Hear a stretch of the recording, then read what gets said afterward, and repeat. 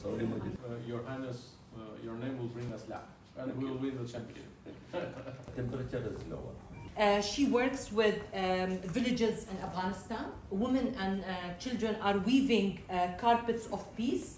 Those carpet of peace, the money and the, that comes from those carpet of peace goes immediately into their health and into their education of women and children. And it's a peace initiative from uh, Her Highness uh, Sheikha Fatima. Thank you very much produced and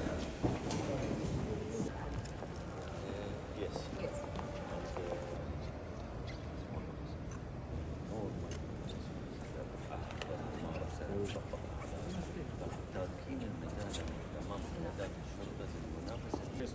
Yeah, you will receive uh, contact. Thank you.